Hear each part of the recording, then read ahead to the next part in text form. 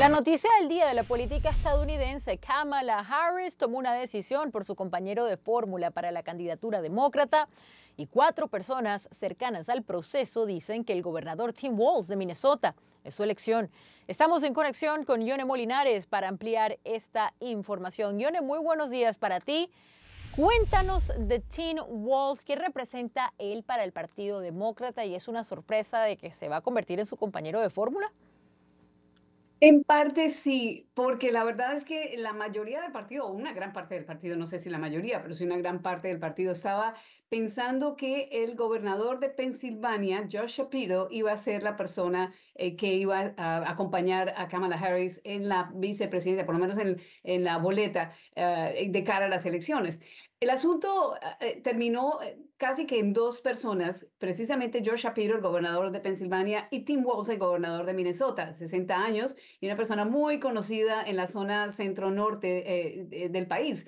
George Shapiro, por el contrario, es una persona muy popular, un gobernador de uno de los estados más competitivos. Dicen los que conocen de esto muy bien y de todos los números que la mayoría o la victoria normalmente para los demócratas y para los republicanos pasa por Pensilvania.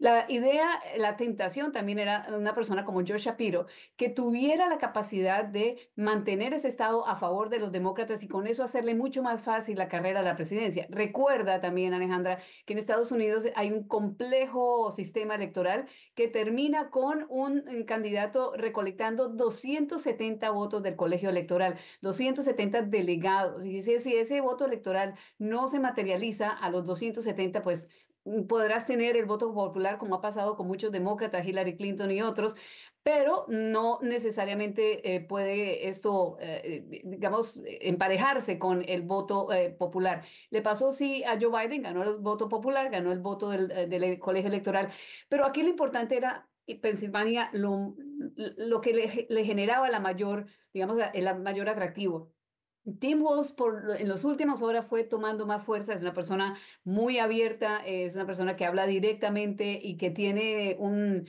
eh, también como un ángel, un carisma muy importante. Y por lo que entendemos, para Harris era muy importante, según estas fuentes, la capacidad de química que había entre los dos. Ah, Harris tenía una cosa solamente muy clara desde el comienzo debía ser un hombre caucásico, un hombre blanco, algo que realmente pudiera balancear un poco esta boleta presidencial demócrata. Y por eso se pensaba entre Joe Shapiro y eh, el, gobernador de Pensilvania, Shapiro y el gobernador de Minnesota. También estaba entre los candidatos el senador por Arizona, eh, eh, que Mark Kelly, que además había sido, fue un astronauta, tiene una vida y una historia personal y profesional muy importante y muy buena para poderla acompañar. Pero fue Tim Walls el que lo acompañó. Recientemente, Walls ha venido ah, generando mucha atención porque es una persona con, eh, muy creativa para decir las cosas, si te lo puedo decir así. Y uno de los asuntos que tenía muy preocupado a la base y algunos dentro del Partido Demócrata del gobernador de Pensilvania es que él es judío y había tenido algunos comentarios bastante fuertes relacionados con Gaza. Eso le preocupaba un poco al partido y si de pronto esto iba a terminar creándole un problema más serio en los próximos días a Kamala Harris. Hasta hoy nada más se supo, parece que la vicepresidenta ni siquiera anoche lo tenía claro, esta mañana se levantó y dijo, esta es la persona que quiero que me acompañe en la boleta presidencial y será entonces Tim Walz. Es un nombre, Alejandra, al que nos vamos a estar acostumbrando en los próximos días y lo, importante hoy es saber cuál es su eh, fórmula vicepresidencial. Ella va a tener hoy ah, en la tarde una, un evento eh, en Pensilvania y por eso muchos pensaban que era Pensilvania el estado y el gobernador que iba a, aceptar. Pero eh, lo van a hacer en Pensilvania precisamente por la importancia de ese estado. Joe Shapiro no significa que se va a retirar del partido ni nada de esto. La idea obviamente es que Shapiro, que además es una de las estrellas nacientes del Partido Demócrata, termine con un muy importante papel en esta campaña por venir y es un, gobernador muy popular, tiene más del 60%, que es muy poco común para un gobernador a este punto en, una, en, un gobierno estatal. Y la idea es que ese sea, sin embargo, todavía un punto muy importante. Mira, todos estos candidatos a la vicepresidencia, todas las personas que salieron en los últimos días en la televisión, en los medios de comunicación, a impulsar la candidatura de Biden, terminan de alguna forma involucrados en el gobierno, en la mayoría de los casos, si es que llegara a ganar la presidencia. Entonces terminan como secretarios o como asesores, como en, algún rol eh, prominente dentro del gobierno. Así que se puede esperar, sí, que Shapiro tenga un rol mucho más grande, pero por ahora el nombre al que los eh, votantes tendrán que acostumbrarse será Tim Walz. Esto es muy importante porque aunque la gente va a votar eh, principal, eh, de forma principal por la candidata, que en este caso es Kamala Harris, de todas formas, la fórmula vicepresidencial le ayuda. La idea podría ser entonces que el gobernador de Minnesota no solamente le ayude a consolidar la parte del noroeste y el centro también eh, del norte, norte y centro de los Estados Unidos, sino que también le ayude con su carisma y con la forma de hablarle a los estadounidenses a eh, convencerlo también a los más moderados del Partido Demócrata que Kamala Harris tiene una muy buena fórmula y que puede llegar a gobernar de una forma sólida. Esa fue la fórmula y esa fue la consideración que tuvo Barack Obama cuando escogió a Joe Biden y también eh, ha sido siempre el, factor más importante. ¿Qué me puede, digamos, eh, aportar en mi campaña?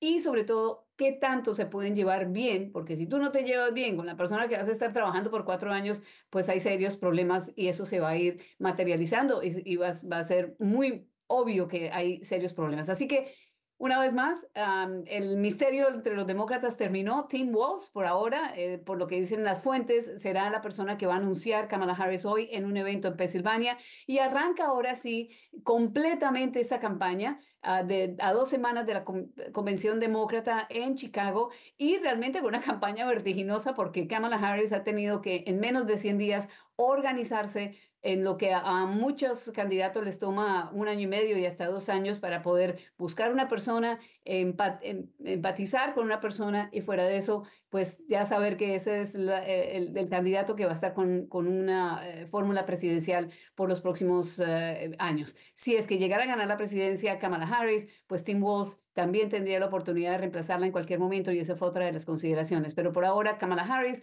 o la posible, potencialmente la primera mujer presidenta de raza negra con ascendencia de la India y un hombre caucásico del centro norte del país como Tim Walz de Minnesota, pues se hace una fórmula muy interesante para los demócratas y bastante atractiva para los eh, votantes. Posiblemente la idea también sea atraer a los, el voto de los moderados o de los moderados dentro del Partido Demócrata, pero por supuesto también dentro de los republicanos que no tienen mucha afinidad con eh, la, boleta presidencial de los republicanos con Donald Trump y eh, JD Vance. Alejandra. Y bueno, la verdad es que hemos visto que desde el anuncio de Kamala Harris están teniendo bastante chance de poder ganar estas elecciones presidenciales. Hemos visto dos cosas, un aumento en la intención de voto hacia el Partido Demócrata, pero también una reducción a la intención de voto a este grupo que intentaba eh, ver si era posible que RFK Jr., estamos hablando del candidato independiente o la tercera persona que tenía menos del 10% de los votos, iba a terminar siendo un candidato tangible, teniendo en cuenta lo que pasaba anteriormente con eh, Joe Biden.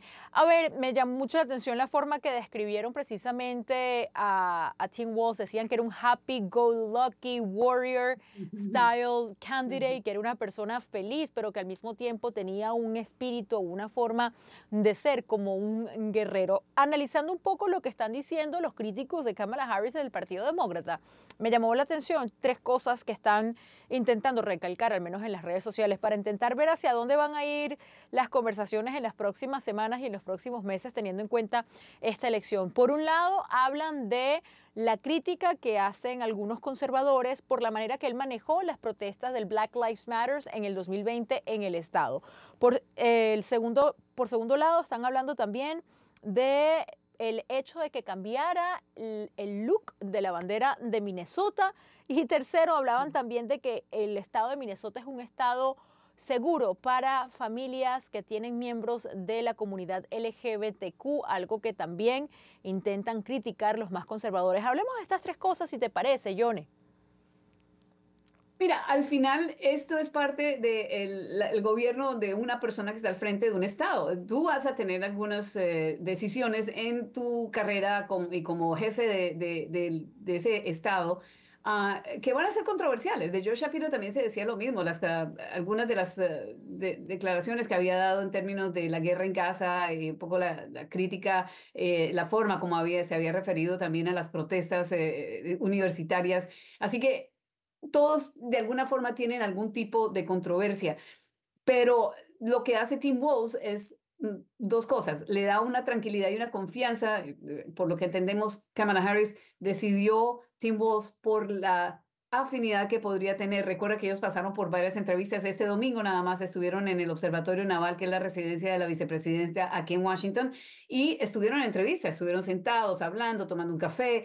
E, esa afinidad que te da a, pensar qué es lo que tú quieres ver. Primero porque Kamala Harris es vicepresidenta. Ella sabe qué es lo que se necesita como una fórmula del jefe de Estado. Y eso es importante porque ella ya tiene experiencia. ¿Qué quiere ver a ella? ¿Qué hizo ella que posiblemente sabe que le aportó a Joe Biden y que le sigue aportando y que quisiera ver ella en su potencial vicepresidente? Eso por un lado. Obviamente, eh, cada vez que se habla de un candidato, pasa por un proceso mm, bastante fuerte de supervisión, se le revisan los antecedentes, se mira cuáles son las cosas que han tenido que posiblemente puedan eh, desenterrar, digamos, dentro de la oposición y que le pudieran causar daño durante el proceso de la campaña. Pero parece que la campaña ah, de los demócratas se dieron, por lo menos vieron que todas esas controversias en relación con la bandera, con estas otras eh, eh, críticas que había hecho en el pasado, no pesan tanto como para que el Partido Demócrata sea afectado con alguna controversia o con el hecho de que la oposición utilice esos, ah, digamos, todos esos elementos que ocurrieron durante la, eh, el, gobierno de Tim Walz en Minnesota. Parece que es más importante eh, la forma como él se proyecta y recuerda que también es importantísimo también el resto del país no conoce mucho a Tim Walz. Entonces él va a tener que presentarse, independientemente de que tú le muestres ah, el pasado, también él puede hacer lo suyo explicando o eh, desestimando algunas de las cosas o no, eh, o explicando realmente qué era lo que había ocurrido y en qué contexto ocurrió.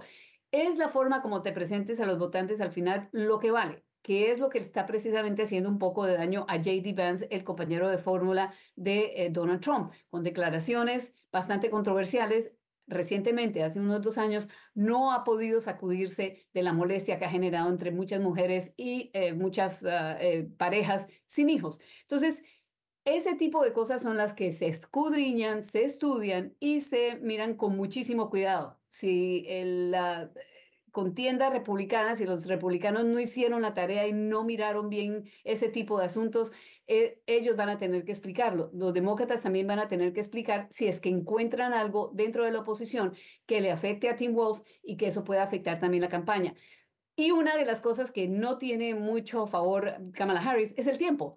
En dos semanas tuvo que buscar candidato, tuvo que hacer revisión de antecedentes y asegurarse que lo que tiene, ah, lo que pueda traer que sea controversial, no termine hundiendo una candidatura.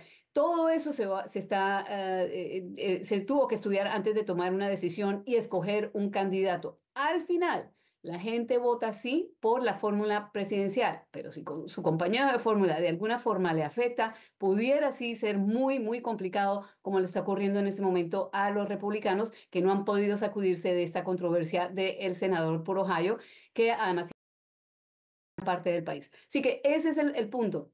Vamos a ver si todas estas controversias a las que tú te refieres tienen algún asidero o si el momento que están viviendo los demócratas logra borrar un poco todo esto, va a ser la campaña la que va a tener que mirar más bien eh, la pajilla en el otro ojo, en el ojo del, del, opositor, para hacer que entonces los demócratas mm, más bien estén mirando las cosas negativas que tiene la campaña de la oposición a su propia campaña, que esa es una parte de la misión que tienen todos estos grandes asesores que acompañan esas campañas presidenciales. Pero por ahora, pues Harris está en un momento importante, María, eh, María Alejandra, y además em, tiene en su punto una cantidad de dinero que sigue recolectando eh, antes de poder siquiera eh, tener la candidatura oficial unido también con el dinero que ya había recolectado el Partido Demócrata Alejandra. Así que pues hay mucho que desmenuzar en los próximos días, pero por ahora pues los demócratas y el partido y el país en general va a tener que acostumbrarse a un nuevo nombre y es Tim Walz, un nombre que de verdad eh, espera la campaña demócrata va a complementar a Harris de aquí en adelante y posiblemente si llega a ganar la presidencia por los próximos cuatro años y potencialmente ocho. Alejandra. Bueno, eh, y si la gente quería saber brevemente cuáles han sido las críticas a los comentarios de JD Vance, para resumir de, eh, de alguna manera quizás eh, más corta, ha criticado mucho a las personas que no tienen hijos en Estados Unidos y decía que se había convertido en una sociedad de mujeres sin niños pero con gatos y que además las parejas que no tienen hijos son como una especie de sociópatas que no ayudan a contribuir a la sociedad, algo que generó muchísimas críticas y además entre las personas que decían nosotros hemos intentado tener hijos pero no hemos podido y con la, la cantidad de bloqueos que intentan hacer ustedes, por ejemplo en tratamientos de fertilización in vitro, hacen las cosas mucho peor. Esto le ha causado al Partido Republicano una cantidad enorme de descontento por la población. Pero si te parece, hablamos precisamente de Donald Trump y el equipo de Trump, cómo ya de manera inmediata están atacando precisamente esta elección por parte de Kamala Harris y ya están elaborando una narrativa en torno a la decisión. Dicen lo siguiente, viendo el comunicado, se arrodilló, la vicepresidenta se arrodilló ante la izquierda antisemita y anti-israelí y eligió a alguien tan peligrosamente liberal como ella.